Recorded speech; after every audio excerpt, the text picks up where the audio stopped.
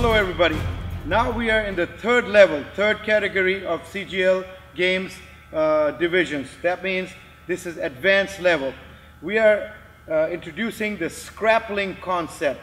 It's uh, the skrappling is what you've seen before, body striking with takedown and with submission grappling.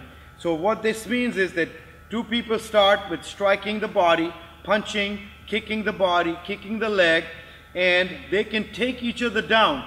After the takedown, either they can stand up, it's up to them, or they choose to submission grapple. That means there's no strikes on the floor. They go into a flow submission grappling. Uh, they can choke, hold, lock uh, each other. If one person does not like to be on the ground, he or she can stand up. One person likes the ground, they, they want to take the other person down, that's their prerogative. But in the grappling category, we have striking, we have takedown, and we have flow submission grappling on the ground.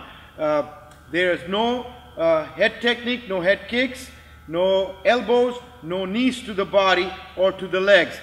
They are required to wear MMA gloves, padded 4 ounce minimum MMA gloves, mouthpiece, groin protector of course, shin pads, and uh, striking to the body only, striking to the leg. There are no straight stomping kicks to the knees, only curved kicks inside and outside of the legs. All right, so let me uh, ask uh, the gentleman to demonstrate. Welcome back everybody.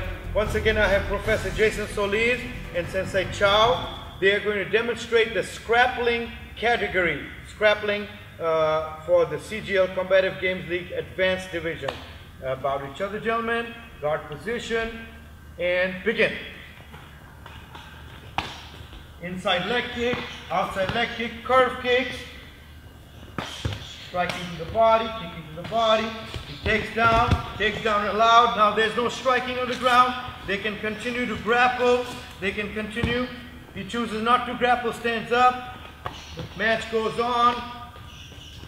Good.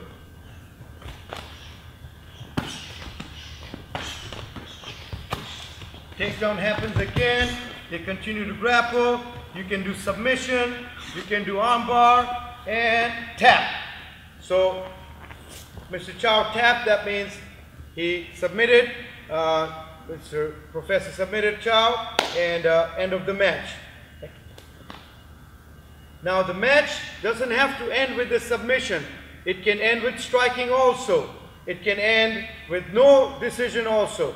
So if there's no decision, they will get another round for final decision. Okay, and we'll detail the rules later on uh, in, in another post. Thank you, John.